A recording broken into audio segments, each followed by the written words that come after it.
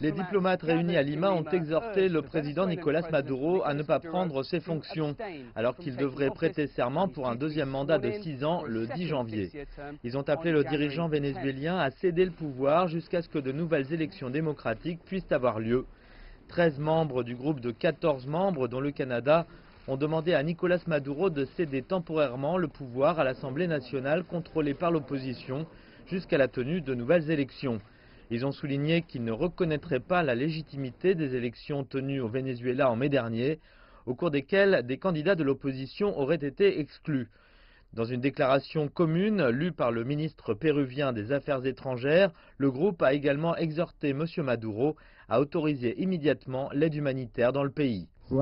Il est nécessaire de mentionner la grave situation humanitaire au Venezuela, l'immigration et la crise des réfugiés causée par la dictature du régime Maduro, ainsi que toutes les actions qui ont généré une profonde crise politique, économique et sociale dans ce pays. Le pays riche en pétrole est dans une crise économique avec une inflation vertigineuse et une nourriture et des médicaments rares.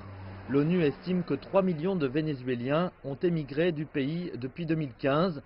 Il s'agit de la plus grande crise de réfugiés que le continent ait jamais connue. Le groupe de Lima, qui regroupe la plupart des pays d'Amérique latine, a été créé en 2017 après la mort de 125 personnes lors de la manifestation anti-Maduro.